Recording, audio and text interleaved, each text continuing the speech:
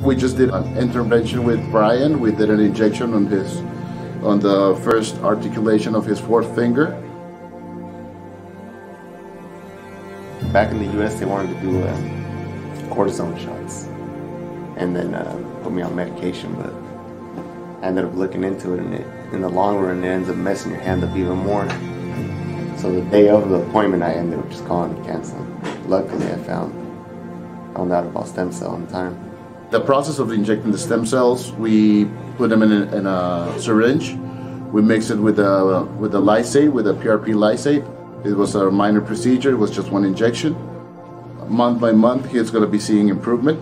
First month's going to be the, you know, he has to wait. We got to allow the, the cells to work. After that, he's going to be seeing uh, results or improvements by month by month.